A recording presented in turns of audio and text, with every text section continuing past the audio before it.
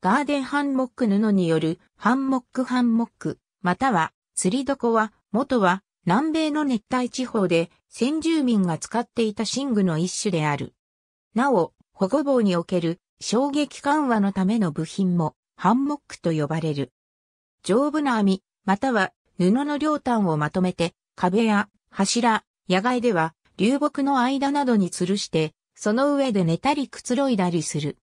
両端付近に木の棒を入れて広げて使うと、ハンモックが丸く、体をくるむようにならず、使い心地がいい。また、体をハンモックの向きに対して斜めにすると比較的背中が曲がらないので寝心地がいい。ヨーロッパの軍用艦船では16世紀の末頃から船舶一般でも17世紀には乗組員の寝床として広く普及し、特に軍艦の寝床として第二次世界大戦頃までは多く用いられた。ハンモックが船舶内での寝床として便利だった理由は、ハンモックは船の左右の運動と同調して動くので、寝ている間に床に落ちたり、床の上を転がっていってしまう危険がないためである。特に小舟が主流だった時代には、小舟は風向きによっては、船体が斜めに傾いたまま進むため、常に船内の床が左右のどちらかに傾いている時間が非常に多かった。このため、寝床の水平を保つために必要だった。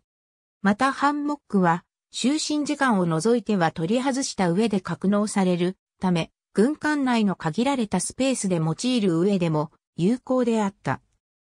しかし、近代的な蒸気走行の船が登場すると、船体は常に水平を保つようになり、ハンモックを使うメリットが減少してきた。そのため、次第に作り付けの寝台が主流となり、第二次世界大戦以降に建造された艦船には装備されなくなった。